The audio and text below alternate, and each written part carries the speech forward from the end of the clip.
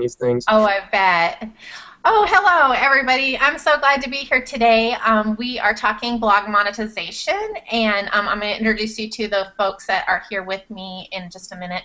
But the cool thing is, is um, Laurie Turk and I have been doing these hangouts every Wednesday morning talking about Google Plus and SEO, but a lot of the questions we have often surrounds blog monetization. And so I thought it would be really cool to start a really basic conversation today that we can build on in the future about what we're doing to make money from our blogs. And Laurie, unfortunately, who is like the guru of blog monetization, couldn't be here today because she's having a little difficulty with Tip Junkie, which needs to be up 24 hours a day because it's just that fabulous. So anyway, she'll catch us next week, and um, which is good because we will build on this in a little bit in the future. So let me. T- I'm Holly Homer, and um, I have several blogs. Uh, June Cleaver Nirvana is my personal blog, and Kids Activities blog is all about fun things to do with their kids. But I also run Business to Blogger, which is a network for um, matching bloggers with companies that need bloggers. And so um, not only do we create um, sponsored post opportunities, review opportunities over there, but we run an affiliate network as well. So that's kind of my background. I monetize on my other blogs, and then I run an affiliate program for another company. And um, let's talk, start with Cathy, and you can tell us a little bit about what you do and how you've been monetizing. Okay, hi everybody. Uh, my name is Cathy James. I'm from the UK, um, and I write the kids' activities blog that's called nurturestore.co.uk. Um, I've been blogging for three years, um, and I write freelance now as well for another number of other blogs. I write for Baby Centre in the UK, and I write for Holly's blog, uh, Kids Activities blog in the States. Um, yay! Um, and I've been monetizing my blog pretty much from the first six months um, from when I first started blogging. And now blogging and freelance writing um, is my job, it's my profession. That's great, and I love hearing when people can turn you know this into something that actually is creating income for you and your family, and mm-hmm. turning a hobby into into a job, and hopefully it's still fun when you do it that way. Sure. And then I thought it would be fun to um, invite Matt Cherry um, today because he has a completely different perspective of this because he's not a blogger, but he runs not an affiliate network, but something similar. So let me have him introduce himself and tell you a little bit about that.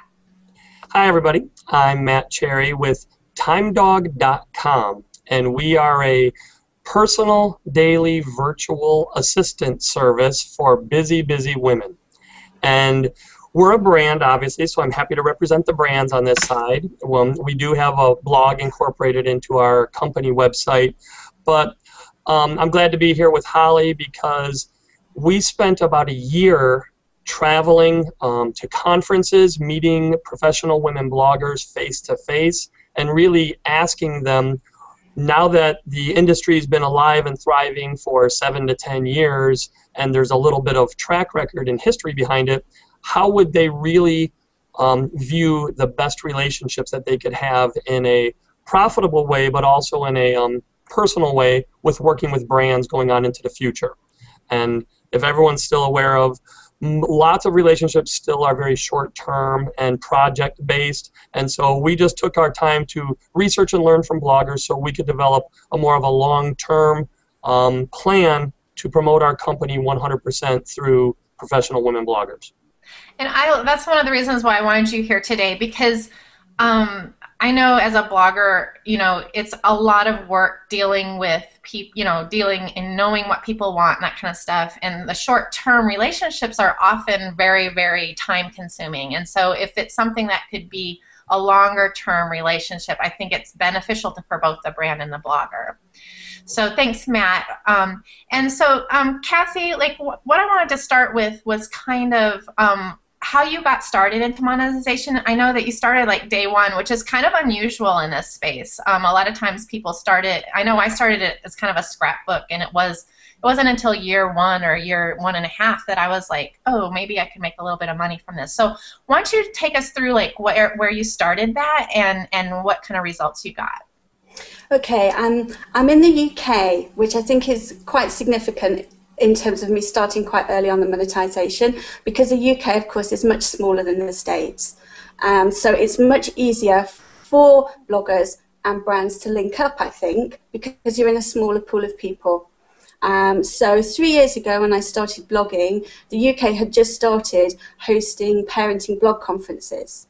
Um, so a lot of brands were getting on board, sponsoring the conference, and then looking to sponsor bloggers to attend the conference and to represent them as an ambassador. And that's how I first began um, on the monetization because I was paired up with a brand to represent at a blog conference, um, and then things have just, you know, continued from there.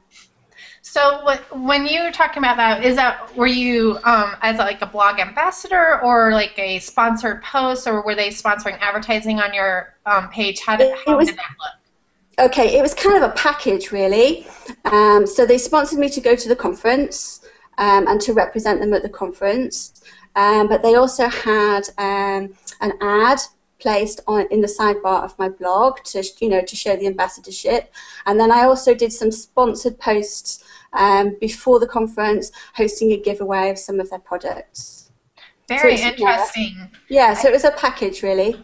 Yeah I think that's really interesting because I think a lot of us start with um, kind of like the really low generation. Um, I know that I started with um, Google AdSense but my traffic that when I inserted Google mm. AdSense was really, really low. Yeah. And three or four years ago, um, it wasn't nearly as um, savvy about picking advertisements for my site. I, rem- I eventually took it off uh, my personal blog, June Cleaver Nirvana, because I had talked about some potty training issues, and then they had parked a toilet like toilets for sale on my sidebar for like three months. Because obviously people potty training want to buy toilets. Um, and so uh, but i want to br- bring it around full circle because now on Kids Activities Blog, we do use Google AdSense, and it's our largest generation of income because they're a lot more savvy about choosing the correct, um, not putting toilets next to potty training, you know, more like um, educational information for parents. They're doing a lot better about the targeting. And so a simple addition of just an AdSense code to a sidebar, if you have um, a decent amount of traffic, can passively bring in income that you don't have to work for outside of that. Um, do you do any net, um, ad network, um, Cathy? Yeah, I do. I use AdSense, and I really like it as well. Like you say, it's just passive. It's so easy to set up. I think as a parent and as a blogger, you've got enough to do looking after your kids and producing your blog. So if you can streamline any other area of it, then that's great. And that's what AdSense really does. It makes it very easy um, for you to monetize your blog. And as you say, if you've got a blog that's getting a lot of traffic, AdSense can work really well. Um, I also work with um, an ad agency who are based in London called Handpicked Media. And they do a similar kind of thing um, as AdSense. They have a permanent ad block um, on my site, and then they deliver advertising um, into there for me. So again, it's hands off from my point of view. I can concentrate on the blog content um, and let AdSense and Handpicked um, deliver the ads to the site for me.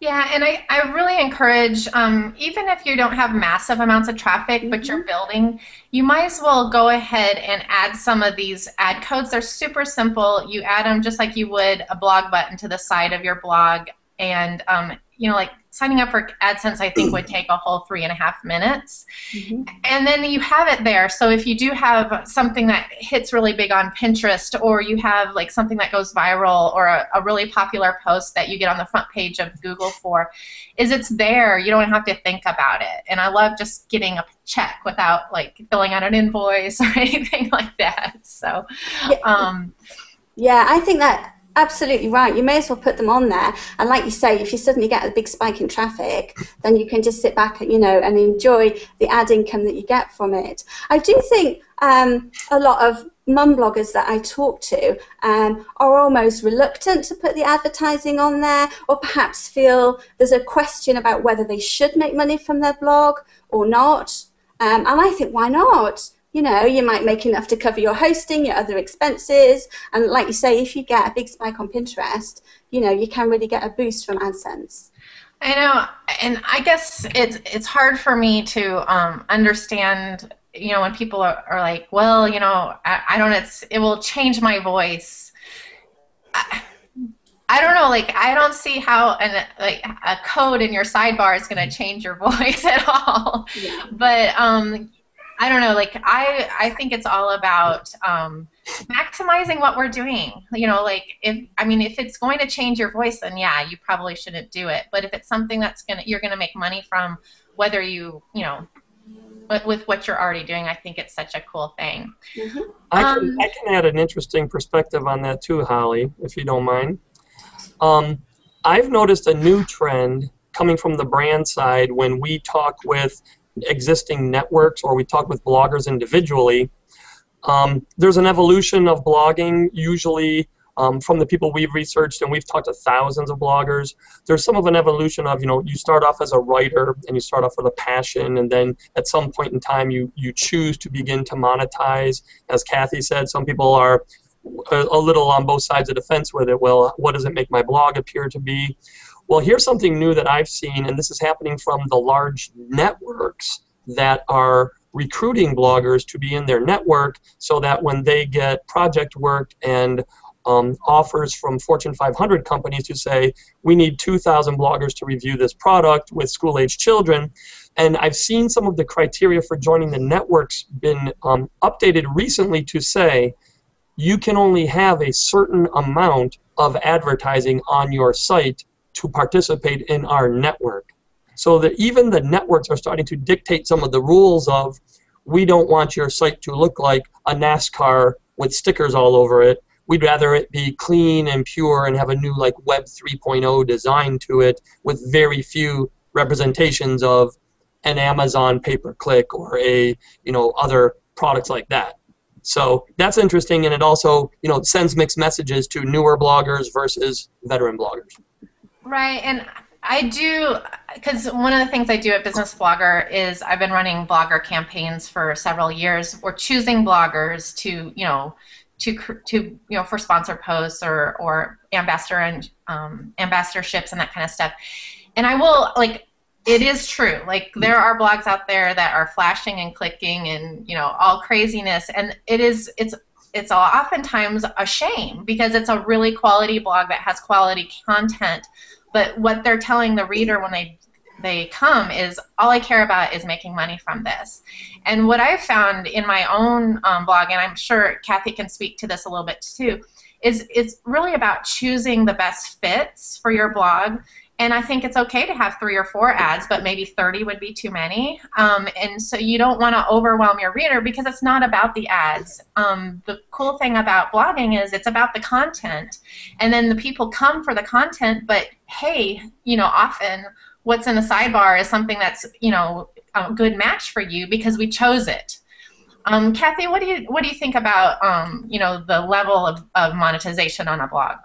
Okay, I think that a good design and a good layout of a blog can make a huge difference um, to the look and to the feel of it. Um, I think on Kids Activities blog and on Nurture Store, we combine the advertising with the content really well from a design point of view. Um, I think that it is the content that's the most important thing, and that's what readers come for. Um, and we make no charge for our ideas, for our resources, for the things that we put on the blog. And I think because we're making no charge for that, it's perfectly okay to include some advertising on the site and to make some revenue from that point of view.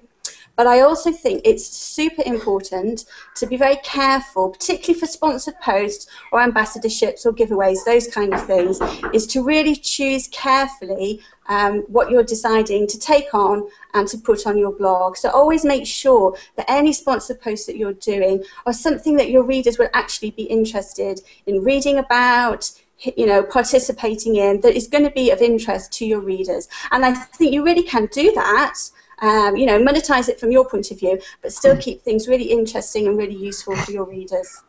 I completely agree with that. In fact, um, it's something that, um, and like on Kids Activities blog, we only publish kids activities. So if you're a sponsor that wants me to run a giveaway, no, it's not a kids activities. Um, and that's really helped me um, focus what we're what what good fit is with a sponsorship but it also, the funny thing I've found is that some of my very favorite posts I've ever written were sponsored posts. And I think it's because I really was thoughtful about it and I put it together in a really good package. And I was really proud of it. I probably spent more time on it than I would have normally because I really wanted that, I wanted to be super careful for the fit. Um, and so I think if you can look at it as more of a writing prompt, like only choosing um, sponsorships that would be more of a writing prompt and really be an, an extension of your brand, you're going to have a better result with that anyway. So um, let's talk a little bit about. Um, I, ha- I hate to call this affiliate networking because I know there's a stigma to that, but basically, you know, it's only, it's kind of a cool thing because you can be paid per performance um, on some ads, and um, I know I, will tell let Matt talk a little bit about what they came up with for Time Dog, and then um, we can talk about a little bit what we've been doing um, on our blogs. Go ahead, Matt. Well, unlike traditional pay-per-clicks or pay-per conversion programs, the feedback we received um, helped us to uh, tailor a program that bloggers were just shouting at us they wanted, and that was um, we are going to do our normal social media efforts to help a brand and, and boost the click-throughs. We're going to um, support you and do what you're requiring of us, and also because we're compensating you for it. Um, but we actually set up more of a traditional network plan where bloggers can actually get overrides by registering and, and recruiting other bloggers to work with them as well. So instead of a traditional affiliate program that's mostly from our research driven by pay-per-clicks or pass-throughs or conversions, um, we've we've been told that many of those programs are also complicated and it's hard to track you know pennies and nickels and clicks and tiers and things like that. So we tried to make our plan as simple as possible. And so as an ambassador for time dog if you're a time dog champion we play a very simple flat fee basis. So mm-hmm. it's x amount of dollars per person when they sign up for our virtual assistant service. And if you happen to have a network of bloggers and you recruit 10 more bloggers to work with you, then you can get a flat fee um, percentage or a flat fee dollar amount off of their efforts. And the efforts are still the same criteria as you would do with any other brand ambassador program. Um, as far as we'd like you to use our service so that you can actually speak passionately to it and be a fan of it, and then um, just distribute your experience through your normal social media channels and your normal work. So we try well, to keep the minimum work level, but with the maximum compensation back. Right, and I think what's really unique about your product is it is a subscription service. So I'm sending you people to sign up, but my check doesn't just come from the one month. Like it goes on if the people continue right. to be part of the subscription. So I think that's a really unique and beautiful way to have a long term relationship with a company because it's not all about the quick sale and then the blogger um, is gone. And and I'd love to highlight that. I think we're one of the few companies that actually crafted a two-year agreement contract with our ambassadors. And it was funny because only one person asked i don't know that i can commit to you the brand for two years. And i said no no it's just the opposite. We're trying to show you that brands will commit to you with support communication feedback ongoing education and training to um, support you for two years we hope you stay with us we're here to earn your respect and your business Right, and I, that's one of the reasons why I want Matt to come on today because I think I love to see kind of what the future holds in some of this, and I think what they've put together is really clever. Um, Cathy, what kind of uh, do you do any affiliate marketing, and what does that look like for you? No, actually, I don't. I have standard advertising um, and sponsored posts, um, but as a blogger, I haven't really used um, affiliates at all. I have used them myself because earlier in the year I published an ebook uh, called The Garden Classroom, which is full of kids' activities associated with gardening and outdoor play. And I have a number of bloggers who are acting as affiliates for sales of that ebook. Um, but as a what, blogger on my site. You, what company did you use for that, by the way? I'm using eJunkie.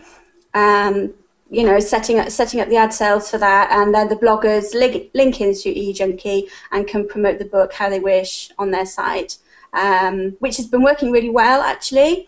Um, you know, it's all automated. It's very easy from the affiliate's point of view and from my point of view. And I think the you know the service gets delivered very well from the purchaser's point of view as well. And you sell other things besides just the ebook, is that correct? No, no, just the ebook. Just the ebook, okay. Yeah. And because I know that's something that a lot of people have been um, talking about recently is creating products like Mhm. ebooks and that kind of stuff that could be downloaded and sold from the site.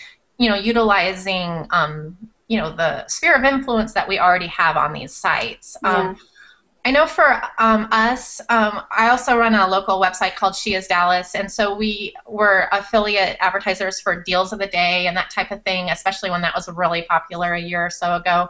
And so we would make, um, you know, on a really good deal, I'd sell 50, and you know, make a make a percentage. On a really bad day, I'd sell, you know, nothing or one. And um, so it was kind of a roller coaster, and I really learned that it's all about the product and not necessarily, um, you know, the percentage and that kind of stuff. So I'm really, a you know, I spend my time choosing products more than um, than actually, you know, signing up for affiliate networks. But I will say um, one of the things that you can look into when you, if you decide to do some affiliate marketing, I think it's a really cool thing to do if you have, um, like for instance, on June Cleaver Nirvana a few years ago, I wrote a post about pajama jeans, and that was way before pajama jeans got popular. And so I was on the front page of Google for pajama jeans, and then pajama jeans totally like took off, and you know I was getting uh, hundred thousand hits on my pajama jean um, article. And so what happened was I ended up getting affiliate advertisement for the actual pajama jean um, um, and putting it at the bottom of just that post because You're that's such what a people. trendsetter. I know, I know. the funny thing was is that it wasn't even a positive review. But I so I finally said, well, if people are still going to buy them after they read my review, then I totally need to make money off of them. so, and I was selling, you know, 10, 15 pairs of pajama jeans a day um, during the holiday season, and it it completely it completely um, you know, created money that I could put into kids' activities blog. So my next project. But um, so I think if you have like if you're on if you can find a really good fit for a popular post, you don't have to have that advertisement on every single page of your Mhm. um, blog.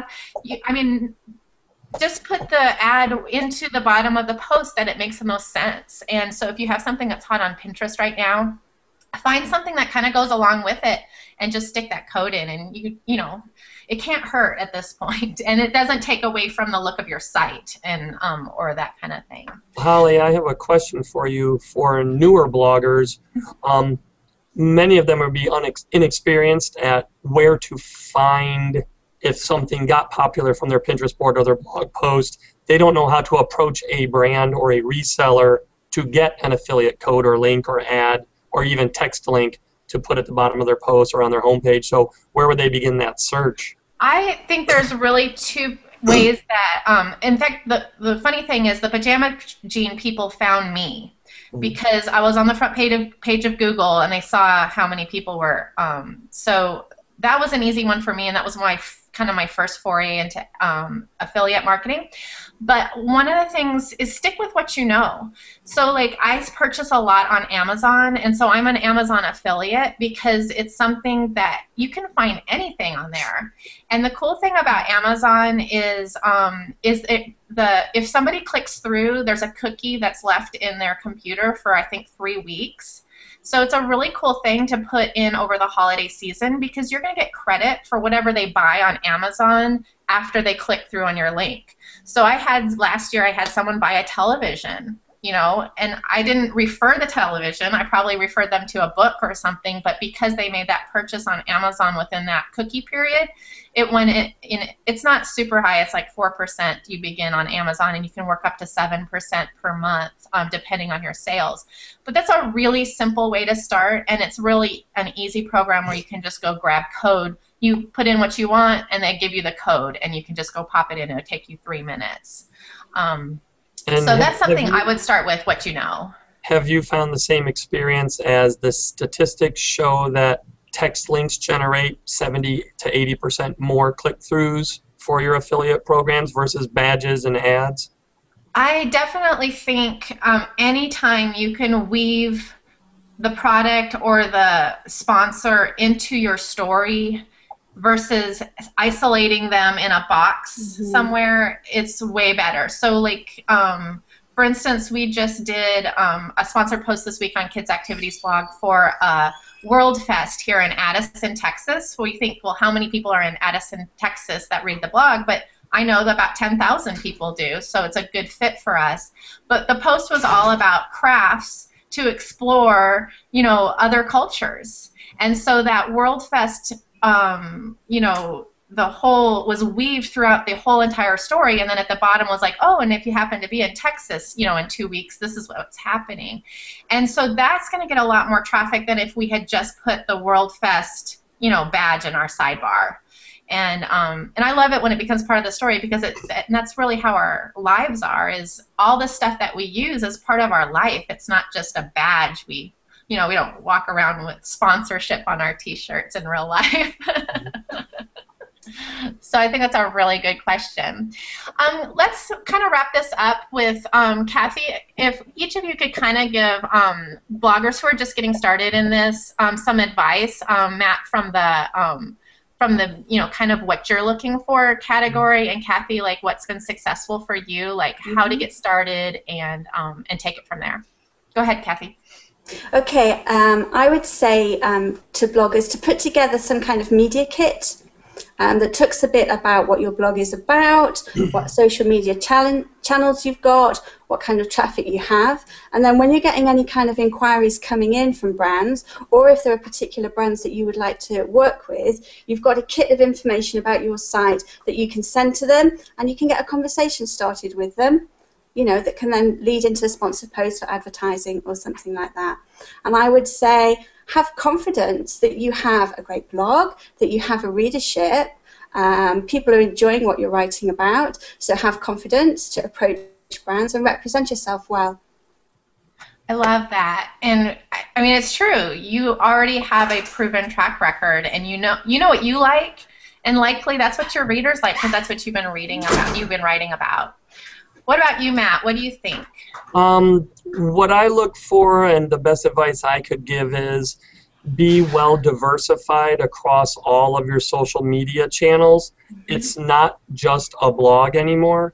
If, if you're a what we call a purist and you do want to just write about your life for your family every day and that's your outlet and your passion, that's fantastic. If you are trying to monetize, then you should also be on Facebook, Pinterest, Twitter every day. And no matter if you call yourself a journalist, a writer, a blogger, everyone is in sales and marketing in some way, shape, or form. And those other channels will help drive more traffic. And the end goal is they read your content. You're not doing it to drive them to the, the 125 by 125 ad on the sidebar. You're driving them to read so then they become engaged followers and will stay with you long term. Then you will see that volume will drive the monetization.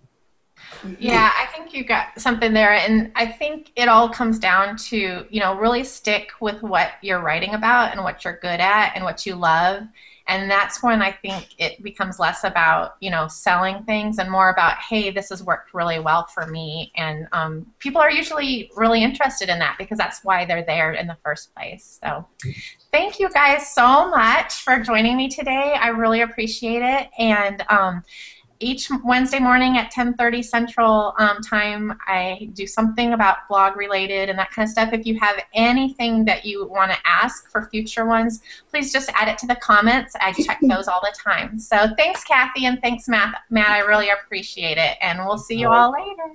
Bye.